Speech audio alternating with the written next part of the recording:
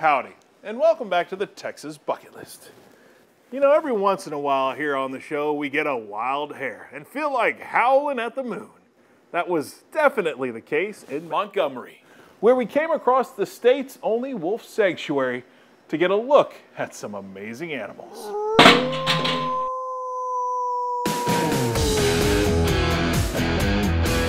Down a long, windy road on the west side of Montgomery County. Just a few miles from the Sam Houston National Forest.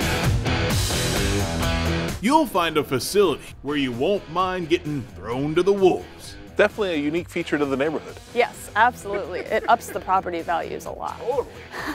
Brittany McDonald is one of the caretakers at the St. Francis Wolf Sanctuary. I've wanted to work with wolves since I was eight years old, and so to just be here is a dream come true. Hi. Hello, oh, good boy. Yes, a good baby.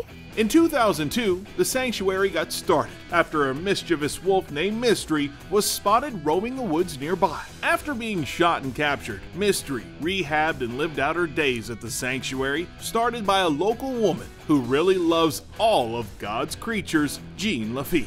She just had this passion for animals and wanted to do what she could to help. Now, 13 wolves and wolf dogs call St. Francis home. So wolf is obviously the pure form and the dog is mixed in with dogs. Um, wolves occur naturally in the wild whereas wolf dogs rarely do.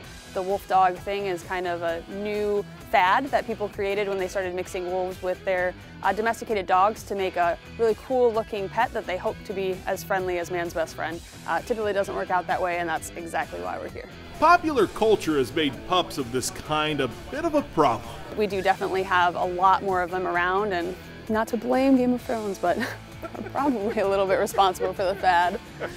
Can I borrow one for Halloween and yeah. do my Jon Snow impression? Yes, there you go, yes. Turns out, once these guys get long in the tooth, they can be a handful. They assume that because it's mixed with dog, it's going to have the dog temperament and the wolf looks and that doesn't really apply. The wolf characteristics are very dominant. Uh, that fear of humans, the destructiveness, the you know desire to escape and to do wolfy things. You've given me a new term. I'm going to go do wolfy things. Wolfy things, yeah. All right, so this is Miko. Yes. What's Miko's story? So Miko was actually born and raised uh, at a zoo. And from the day he was born, the keepers um, hand raised him because they thought that it would make him more uh, socialized, and it, it definitely did do that. And the reason that they wanted to do, do that is because they wanted to turn him into a kind of a photo prop for guests that could come in and pay a certain fee to play with him and hold him. So you'll see that he's really social. He's coming up, even though there's strangers here, he's wagging his tail. He is not at all afraid of people. He's my favorite because I have this personal connection with him, but he's also just got so much charisma and this, you know, out of this world personality. Uh, but he'll still remind you that he's got wolf in him, uh, especially when food is involved. So he's he's the whole package. Miko shares his pen with two other female wolves, sort of a wolf pack that the sanctuary creates for each of their wild friends. Matching them up is kind of like playing matchmaker. You just kind of figure out who likes who. Yeah, we uh, sometimes call ourselves the OK Cupid of the wolf world because we do have to, you know, make sure that they can match up because having a companion is really important for them, just like it is for people. They really rely on that social bond. It didn't take long for the social bond between Miko and his mates to make a bit of noise during our visit. All their houses are elevated so it can allow for airflow and they have doors on every side so we can open it up a lot during the, the hot seasons. I'm scared to look. I know. I don't know if I should look. Maybe they're not doing something we want to see. Taylor's just correcting her, her new child three pack drama over here. It's almost like a typical human relationship. Yeah. I mean, the dude's just like, hey ladies, hey ladies. Yeah. Let's get along it's all here. good, it's all good. Yeah. There's enough for me to go around. Yeah, yeah, I mean, two of y'all, one of me, it's good.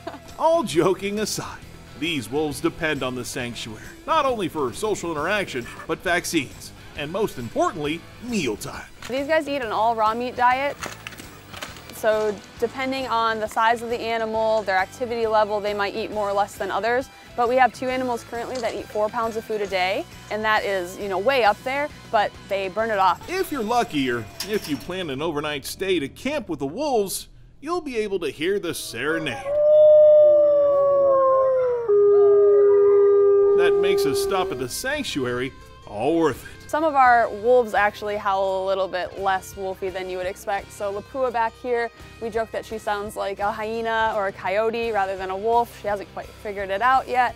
Um, but it's impressive. I mean, every single time it's, it's just this beautiful sound. The neighbors around here love it. They sit out on their porch and drink coffee and they listen for that howl and yeah, it's, it's magical. But if you come on a full moon, you'll never know who could show up. We need a burly guy like you that's got all the facial hair oh, just yeah, come yeah. out like I can play the Wolfman. Yeah. Yeah.